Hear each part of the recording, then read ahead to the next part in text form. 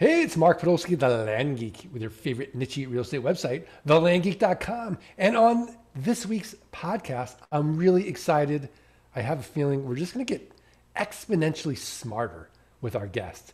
However, I'd be remiss if I didn't properly introduce my co host. You know him, you love him, Scott Todd from scotttodd.net, landmodo.com. Learn anything about anything, investorninjas.com. Scott Todd, how are you? Mark, I'm great. How are you? Pulse is still normal, respiration's fine, and let's talk about our guest. Aaron Scott Young is a renowned entrepreneur with more than 30 years experience and several multi-million dollar companies under his belt. Aaron has made it his life's work to arm business owners with success formulas, which I'm really excited about. We all we all want that formula that immediately provide exponential growth and protection. Fully embodying the concept of the unshackled business owner, he inspires others to do the same by empowering them to build strong companies while proactively protecting their dreams. Aaron Scott Young, welcome. Hey, thanks. So nice to be here with you guys. Thanks for having me on. It's a new year. It's going to be a great. It's going. We're going to have a great 2021. Yeah, boy, are are we ever? So uh, it, it's going to be hard to to not beat 2020. Well, especially for well, from an investment standpoint, I think this is going to be a freaking amazing year. People that are in a position to grow, people that are in a position to scale, that aren't so leveraged that they're hanging on by their fingernails, those people are going to be, odds are, are going to become very wealthy in 2021. Okay, well, let's just rewind the tape and let's just talk about wealth and how you were able to build wealth for yourself. Oh. And not just, you know, when we talk about wealth, like Scott and I define wealth as solving not your money, not just your money problems, but also your time problems is mm-hmm. real wealth to work when you want, where you want, with whom you want. So how'd you how'd you do it? First of all, I just have to something popped to my mind as you said those words. Uh, it was Henry Ford who said most men spend so much time working, there's no time left to make money. And that's really the truth. If you're if you're in somebody else's, even if it's your company's uh, little trench, and you know, and you got your blinders on, and and you're just doing that, you're not in a really good position to find ways of making real money. Uh, you're just trading time for money like a job. So, so did you say how did I earn? How did I develop my wealth? Yeah, yeah. Um, I started very young. I won't give you all the play by play, but I started my first company where we had employees, like W two employees, when right before my 19th birthday. It was just right wow. before. Well, it was about th- four months before my 19th birthday, but uh, right about 19 years old, I um, we really started to grow, and um, we started the first recycling business in Portland, Oregon, and um, built it up. This is back in 1983, and started building that business. Hired some guys, bought some trucks, ended up with thousands of clients around the city. Um, then I met this girl I wanted to marry, and decided that probably she doesn't want to be married to a, what I considered myself as like a garbage man, and so um, I sold that business. So there, I, I sold my first company at 22, and uh, took all the money I made and bought cellular telephones. Right. So now we're like 1986, and um, late 86 became one of the first cellular phone dealers in the greater Portland, Oregon metro. Ended up with five stores, and um, then from there I got recruited to be vice president of sales for a publicly traded multinational. And so at 29, all of a sudden, then I was getting cash and stock and stock options. And I stayed there three and a half years, realized I was an entrepreneur. I wasn't a, an officer for somebody else's dream. So I left, but I, by then I'd amassed uh, hundreds of thousands of dollars in runway, uh, you know, from the stock. And sure. I started buying companies back, that was in 1990 uh, I started buying businesses and and fixing them, and and um, now I own multiple companies, but I also uh, have a private equity business, and we take companies public. So we do both of those things. So anyway, that's cool. that's my that's my last 34 years, 35 years. Very cool. Scott Todd, what do you think? Well, I mean, you know, I think it's pretty cool. I think we all have this story, right? Like we have this story where we start off with one direction and then we grow it to another way. There's some catalyst or something in it that kind of takes us to, to the direction that we want to go to. And it's kind of cool to hear to hear uh, Aaron's story as well. So, so Aaron, so when you're looking at a company today Mhm. and you're analyzing the company, what are you looking for? What, what in your mind makes for a strong company? So, so I have two different hats that I wear. One of them is helping your company get better.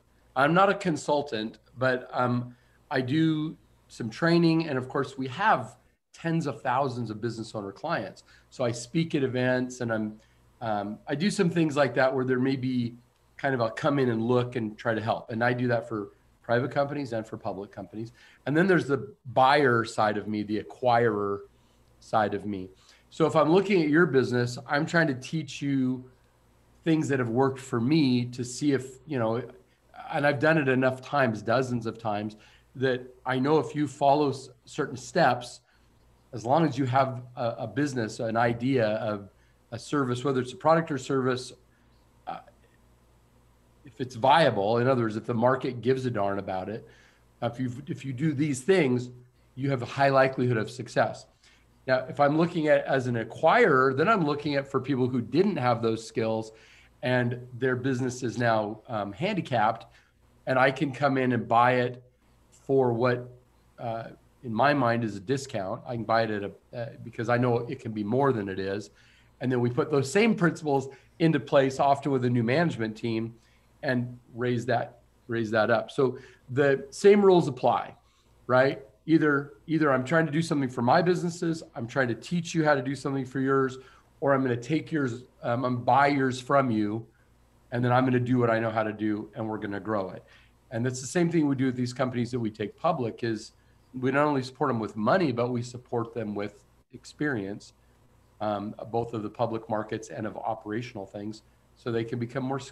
Because here's the deal: if you have a recipe for um, uh, chocolate chip cookies, if you have a recipe for chocolate chip cookies, and you follow the recipe, you're going to get chocolate chip cookies. You're not going to get a tuba. You know, you're not going to get a Chevy. You're going to get cookies every time. But most entrepreneurs have no recipe, they have no formula. They're just groping around. They're mostly keeping their own counsel, or they read one book and they go, "Oh, that's the way to do it." then they read another book and go, "Oh no, no, forget that. I'm going to go do this." And they're they're just, you know, it's the proverbial chicken with their head cut off, just running around. There's a lot of activity, but it's getting them nowhere. And that's you don't have to do that, but that's what most people do. And so that's why there's so many. I think I, the most recent information I read said the average, there are about 25 million people, a little less than that in the last census that said they owned a company or were self employed. So that could be somebody selling Tupperware or it could be Apple, you know, Apple. Sure. Um, and the average, the I, sh- I should say the median, the median income was $25,000 for the entrepreneur. Only 4% of companies ever get over $1 million in revenue. wow. Only 4%. That means almost everybody is, you know, doing, I mean, think about an orthodontist or a landscape company or an architect. They're making, their company's doing less than a million bucks a year, but they're still taking a quarter million dollars out and they're making a nice living, right? And they drive a nice Sure. car and they live in a good neighborhood, but they're still small. People think, oh, they, they name off Daymond John or somebody like that. They go, oh, they're a billionaire. They're not a billionaire. Daymond John made $35 million on Fubu, right? It was not Yeah, a right. billionaire. He had 35 million, but guess what? That separates you so dramatically from the crowd that people think you're freaky, unbelievably wealthy. There's hardly anybody that's that rich. Um, but most people are are living here. And so if the, if somebody's making 150, 250, 500,000 a year, they're so they're living such a different lifestyle that the average human thinks, oh, they must be a billionaire. But the, it's only because right. the person that's making 50, 70, 100 they don't they they can't conceive of making four or five hundred thousand. They can't conceive of having that house, driving those cars, going on that vacation, right? But the, the only thing that's different is that people that are making money typically have learned if I do these things, I get a certain result. Yeah, so Scott and I are smiling because this is literally what we teach our clients in flight school. And Scott literally uses the same exact phraseology follow the recipe. Well, Scott, you're a brilliant man. And well, it, it doesn't matter what industry you're in either. If you're a real estate investor and you're not just um, stupid and you know fat and stupid let's just say. I have money but i have no clue what i'm doing. Everybody can make right. money in a good market right? Everybody makes money. It's the people that figure out how to kind of not be greedy. They're not trying to time the market. I've made enough on this deal now i'm going to get out. I'm going to put some money on the side. I'm going to look for deals that fit my criteria. I'm not just going to jump in to something that sounds good right a lot of a lot of real estate investors are one person operations.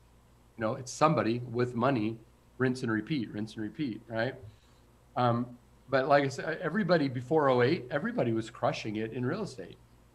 Anybody. Right. Then, I mean, I've got one friend who lost over a hundred million dollars in the 08 crash in his real estate. Just he was too leveraged and it lost it all. And he was laying on the floor in his closet contemplating suicide. You know, it's I had a bunch of friends out here like that. That were like that. Yeah. Yeah. Um, wait, wait, I, I get, I start to pontificate. I'm sorry, Mark. Go. Where, where do we want to go with this conversation? That's useful. Well, you know, Scott already brought out the Duncan Hines uh, box to show yeah, to show the. I mean, like, uh, this, I take it to heart, man. Like, and seriously to heart. I got the Duncan Hines box here, and I always talk about like the recipe, right? Like, you follow the recipe and it will probably come out like this maybe right? Like okay not exactly but close enough. And I, w- I would just say that you know one of the things one of the challenges i think that entrepreneurs have is you know they want people want to scale right? Like that's the first thing i see a lot of people the people that we teach mark like the first thing they want to do is i want to scale this thing. And i always tell them like calm down, calm down. I know you want to scale it, right? Like the Subway wanted to scale two to 8,000 or 10,000 restaurants. It's okay. But the reality is, is that you've got to build the foundation first, right? So, you, know, like you just can't, in our business, we start mailing. I see people that are like, I just want to mail 10,000 letters this month well that's ha i want to laugh at you right? Like that's it, it, it's a good goal but you don't know what you're doing you know? Like you got to slow down and you got to build the recipe. Like i can teach you a recipe on how to do this but then you've got to go bake the cake first right? Like I, I can teach you this thing but then you got to go and you got to practice it a few times. And then when you start to practice it then you start to build your speed. And when you can start to build your speed then you can go scale. So aaron i'd love to know when someone comes to you and they're like, listen, I want to go from like zero to a million dollars in sales in one year or 1.257 years. What do you do? What do you tell them? How, how do you get them to slow their, their jets a little bit? Well, well, the first thing, okay, so you, I teach this class called the Unshackled Owner, and it basically is that it's my recipe that I've used over and over again, and I'm I'm not trying to pitch the, the class. But um, the first thing we do is we say, okay, I'll just give you the, the steps that we use over and over and over again. First one is vision. Now, vision has been kind of turned into sort of like a buzzword in personal development, you know, uh, where people kind of go, yeah, yeah, whatever, let's get past that. But no, in my world, we have to know how are we going to define success? Right? What so that person says 1.275 million, right? That's what you just said. So okay, so why why is that the number? What what is it that is going to be the physical manifestation of what it is you're trying to do? Right? So don't just make up this these BS numbers. The numbers mean nothing. What is it you want? What's the life you're trying to live?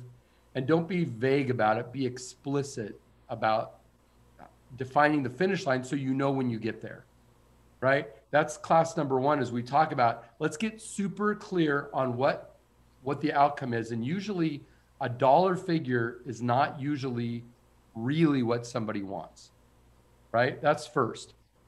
Second thing is now let's go to your second part. Oh let's mail 10000 right? So i say okay so let's just think about it. if this is what you want to build up here this is the big outcome let's define what does the the structure underneath that in my world it would be what does the organizational chart of the company need to look like in order to be at that place? So in order if you're going to mail 10,000 what's your response rate going to be? If it's um, uh, 1% that would be 100 right? So if you had 100 legit prospects come back at you in a month's time how would you handle the phone calls? How would you have a meaningful conversation? How would you check out what they're do? I mean, how would you do it? How would you physically have time? And are you working a W 2 job? Is this all going to happen after 6 p.m. at night? You know, and how many hours? So, can you only talk to people between six and eight before it's kind of inappropriate? Right? I would start thinking about what is the what is underneath getting that result because you have to figure out how you're going to do it and if you can't do it on your own, then you have to bring in the right people. So how people usually suck at hiring. They're horrible, horrible at hiring, and they're worse at managing. And so um, I use something I learned uh, kind of at the very beginning of Stephen Covey's career. I got to go to a small training with him, and I really I gleaned a lot, and it was early in my career. And um, he uses a system DGRAC desired results, guidelines, resources, accountability, and consequences for success or failure. So we write job descriptions saying, here's the desired result, not you're going to be in sales, but you're going to sell this thing to this market, this many in this time period. This is the desired result that we want. What are the guidelines? Well, here are the hours we work. Here's the cards you hand out. Here's the dress code. What are um, what about resources? Here's the list. Here's the computer. Here's the CRM. Here's the uh, whatever. Here's the training. Accountability. Here's you're going to report to me, or you're going to give turn in this thing each day. What's consequence? Well, if you are successful, here's what can happen for you. If you're unsuccessful, it's not just get fired. It's maybe retrain or move you to a different position, or maybe it's let you go. But we have to bring people in to help us be more arms and legs for us. And we have to give them explicit guidelines of here's what I need from you. I'm hiring you to be an extension of me. And here's why because I don't have enough time to answer all those phone calls, to write all those letters, to um, send the follow up documents, to uh, go through and cull through the ones that look like they fit our criteria or don't, right? So I need somebody, so I have to bring the right person in the next thing we teach is how to keep score. So I know and you know every day how you're doing and and I I don't have to wonder and you don't have to wonder and you know exactly what I'm measuring. Not I'm not sneaking up behind you and going, "Why didn't you do that?" And you were supposed to like read my mind that I wanted you to do it even though I never told you to. Even though we never said we're going to measure that. That's how most owners do it. They go, I don't know how to do accounting, so I'm going to hire somebody for accounting. And then when they don't present me with exactly what I wanted, I go, What the hell's wrong with you? I hired you to do this. Well, that's not fair. And all that does is diminish your relationship with that accounting person versus coming and saying, Here's exactly what I need. I don't know how to do it. That's why I hired you. Let's work together and you teach me how I get what I need and you can do it using generally accepted accounting principles, right? So you do that and, and you keep score because I'm measuring these four things and you know it and I know it. And every day we look at it and we all know if we're going the right direction or not. Then we say, okay, as we grow and we add more people, how do I how do I get to go and explore other real estate projects, other corporate projects, go take care of my parent with Alzheimer's disease, go you go on a mission trip or whatever your whatever floats your boat. Um, how can I be away and know that these things are still happening? Well, first thing we do is we build a great culture. that speaks to our values and what we stand for and what we stand against and how we do things, how we address each other, how we address our customers and our vendors. So that that's the glue that holds everything together. Then we want to make sure we have great financials and great dashboards so we can see, you know, you started off, Mark. I said, we said, how you doing? You're like, well, you know, uh, pulse is good, respirations are good, right? You started doing that. Right.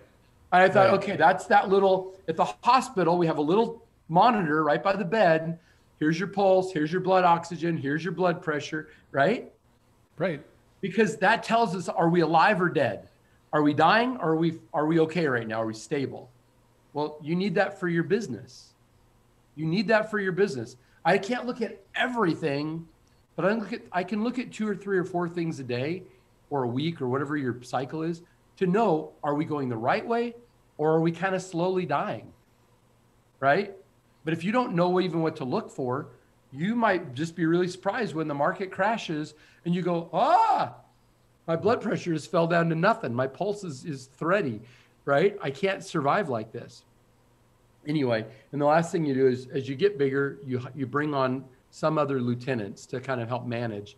And and we have to teach entrepreneurs how to let those people run their part of the business without looking over their shoulder. Because remember you hired them because they're better at that thing than you are.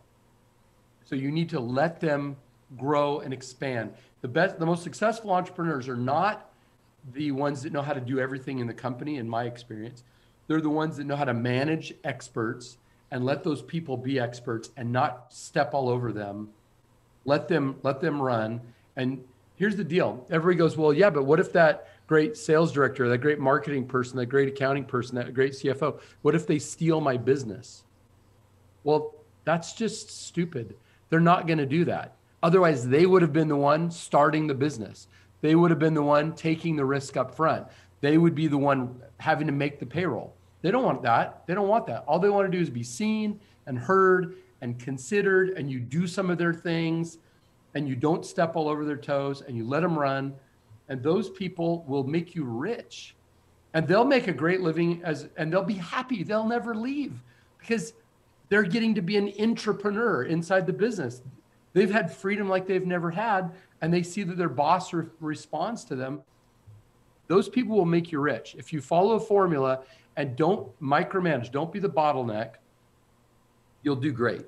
It doesn't matter what. I've been in recycling, I've been in electronics, I've been in financial services, I've been in business services, I've been in private equity, and then I've helped companies in, I mean, everything you can think of. And guess what? Same rules apply, same formula applies every time. Every time. Scott, Scott and I are smiling because we literally hit on every, like every part of that formula. We literally hit on in in our own program, and I mean, it's the even, even to the point of because accounting. Like. Scott even has an accounting class teaching people how to talk to their accountant. Yeah. So you know why you know why we're doing it, and you know why we're the ones on here, and other people are listening, is because when you find out how things actually work, it's not a mystery. It's just almost nobody will follow a formula, and nobody really ever learns. But if you've learned it, is it any wonder that it's almost identical? Yeah, I mean, Yeah. it's, it's funny, Mark, because uh, I, he, he was bringing up some great points, right? So, like when I was hiring my first um, uh, sales manager, I was scared. I was scared of this particular person. Like I felt that this particular person was really, really good, and I'm like, this person is really, really good, and oh my gosh, I'm gonna teach her what I know, and she's going. These are in my brain. She's going to leave, and she's going to compete against me, and I'm gonna, I'm gonna give her my secrets, uh, like secrets, if you will, my knowledge, and Yeah. she's gonna go compete against me. And then I'm like, okay, well, let's just think about this for a minute. One, if she was gonna do that, and what really scared me was that she had just finished like doing her own business, right? Like she told me I'd been an entrepreneur and all this other stuff. And I'm like, but if she really wanted to do this, she wouldn't even be really talking to me. And so I talked myself, I was ma- I, I was able to talk myself that kind of stinking thinking, if you will. I don't know what, what else to call it. I talked myself. There's a out it. reason she's coming to you. She sees you as somebody with dollars. Right, there you go. And she doesn't want to deploy. And after all these years, she guess what? You're right. Here's what's happened. She's made me a lot of money. Okay, like she's really, really good. Made me a lot of money. In the meantime, she's made herself a lot of money. Okay, so, and and I was I was thinking like the, the best job that I ever had in my entire career is when I worked when I worked at Hertz, right? I worked at Hertz Rental Car. And what made it the best job for a very long time is that the management structure or philosophy there was that they wanted you to be able to bring your ideas and and like bring these ideas and they would do it. Like if it was a good idea you could do it. So you could be that uh, i forgot what you said the entrepreneur. in, in yeah, the entrepreneur inside the company and so i always felt like that. I could i could bring my ideas and i could go and deploy this thing or i could i could do this thing or they were accepted. And i think that that's one of the pieces that a lot of people uh, miss when they're hiring hiring people is one you have to create that culture because without creating that culture then you then you become a micromanager. And the other piece and this is what we talk about in flight school too is if you hire somebody to go do something pick, pick whatever the job is you go hire them to go do it immediately the brain of the entrepreneur says or the untrained entrepreneur would say well it's off my list. You go do it. And then you produce a crappy quality product. The yep. person produces something that's crap. And then you're like, you don't know anything. You're an idiot. Well, it's not that they're an idiot. You didn't do a good job of explaining to them right. what it is that you wanted. And you probably took this bucket of dumpy work that you hate anyway, and you dump the dirty work on them as opposed to, look, here's the vision for the job and then I'd like for you to do this. So one little micro task of the entire project. Just give them one piece of information. Yeah. yeah. And that's why I say that's why I say, you know, you're going to do a hundred things this week, right? Between today's meeting and next week's sales meeting, you're going to do a million things. You're going to have all these phone calls. You're going to have all these, lots going to happen. What are the three or four massively important outcomes that you will get done that are going to be the most important thing in moving us towards the goal. I know you're going to be busy. So let's pick out, you tell me, you tell me, what are three or four massively important outcomes that you're going to commit to getting done between this week and next week that will be the thing that moves moves you closest to the goals that we've set for the quarter, right? Because if you just give them all the crap or you give them too much, then they can go, well, I did this. This was, you know, easy for me. I did all this. But it wasn't necessarily what really helped the business the most. The more explicit you are about your instructions and why, if they understand what the why they make a difference in the business, why getting this done moves it's like a little gear, you know, this little thing is going to move this big wheel and this is something you're going to do and you are especially this younger generation they want to be part of a win. They want to see that they're making a difference. They don't want to just be in a cubicle and here, stamp these papers. They don't want that. They want to know why their life matters inside this work. So if you can explain that to them, they will come up with all kinds of ideas. Keith Cunningham says, you know, most companies hire your arms and legs, but the goal is to win over your head and your heart, right? If you can get people to give you, give you their head and their heart, their ideas, their motivation, their commitment, their love, they're going to way exceed your your expectations. If you no, just say, I love that. Just shut up and do your work. Like you know, here I'm at McDonald's. Two squeezes of ketchup. Here, you both the buns in for 15 seconds. Okay, that's arms and legs. That's robots. You want to, right. if you give people a safe place. You said something a minute ago, Scott, and and I all of a sudden had this vision of a seed that could grow into whatever, a stalk of corn or an oak tree or whatever you want it to be. The seed is the seed. That's the employee. They have potential. So are you going to put them in rocky ground or are you going to give them a nice fertile place to grow? If you give them those those Stephen Covey things, desired results, guidelines, resources, accountability, and consequences, that's fertile soil. And you listen to them, you coach them, and you don't just dump all your crap on them the odds are they're going to grow and they're going to grow like Miracle-Gro. They're going to grow fast and big. But if you if you keep them in the dark, you keep them in bad soil, they're gonna eventually either you know blow away, go somewhere else, or they're gonna die. And there's no reason for. I don't know. I, I just that analogy is kind of a biblical thing, but I but I kind of I don't know. I just went off on a tangent. Anyway, my bottom line is I love everything you just said. I think we're preaching to the choir here to each other. So folks listening, there there's there's experience here on this training right now and what we're all saying is, even though we've come to it separately, we don't, the three of us don't, well, I don't know you guys. Um, the reality is, this is truth.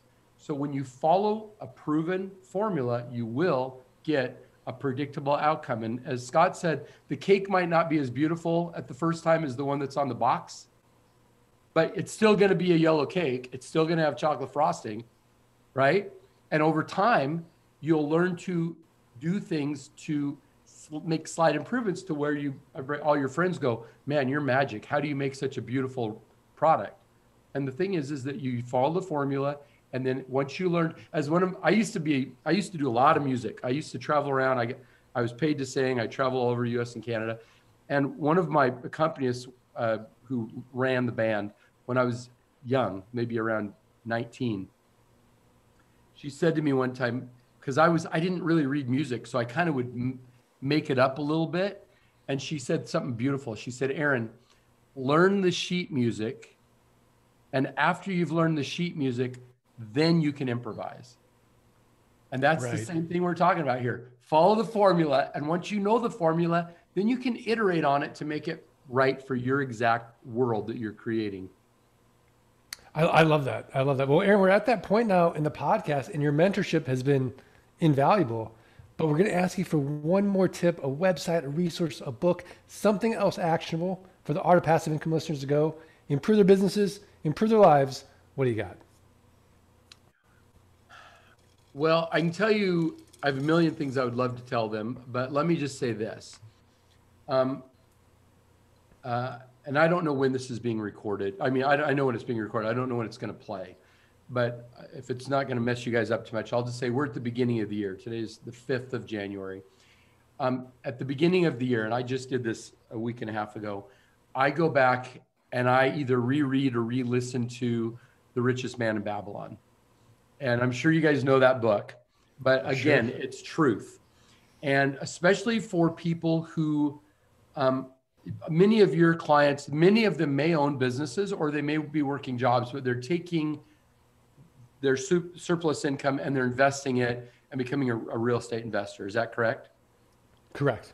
All right. So the principles taught in The Richest Man in Babylon are an easy way to think about how to manage money, how to manage debt, how to manage relationships, how to look at the long game, and how when you look at the long game um, and, and you follow a recipe, here's the thing, folks. Let me just say your if you follow a recipe and if you don't get greedy or stupid and you just do things that are reasonable don't try to get rich quick if you're making 10 15 20% on an investment that's great.